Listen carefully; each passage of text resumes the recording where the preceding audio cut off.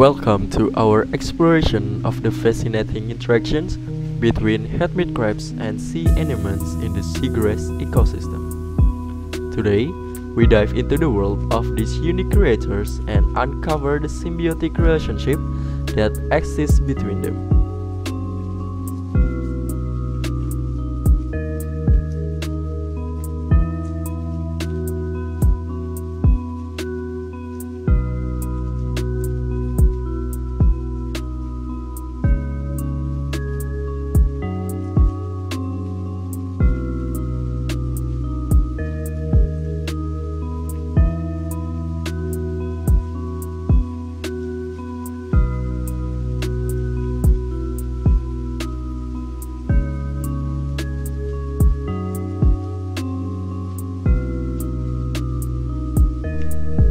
Meet the hermit crab, a small crustacean that lives inside these carded shells for protection.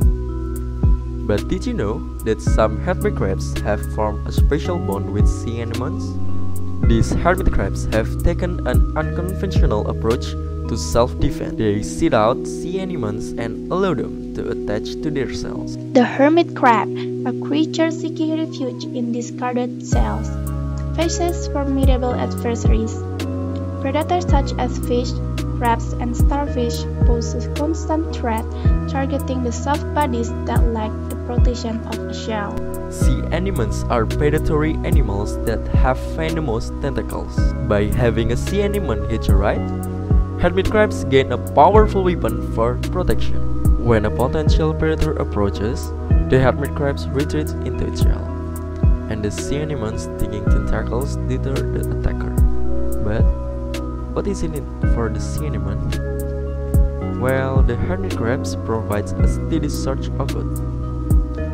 As the hermit crabs scavenge for food, it collects small particles and passes them to the sea anemone tentacles. The sea anemone, armed with its stinging tentacles, contends with its own set of challenges. The ocean hunters including fish, shrimp, and sea snail, pose a significant danger to the anemone's soft, skeletalous form. The sea anemone's tentacles are covered in specialized cells called cnidocytes, which contain nematocytes that paralyze and capture prey. Beyond protection, anemones reap nutritional benefits from this interaction. Leftover food from the hermit crab's meals becomes an additional food source for the anemone, creating a mutually beneficial cycle of sustenance. This mutualistic relationship benefits both the hermit crab and the sea anemone. The hermit crab gains protection, while the sea anemone gets a constant supply of food. These interactions are crucial for the balance of the seagrass ecosystem. The hermit crabs contribute to the dispersal of sea anemones, while the sea anemones provide protection and food resources. But the interaction don't stop there. The presence of hermit crabs and sea anemones attract other organisms to the seagrass meadow, creating a thriving and diverse ecosystem.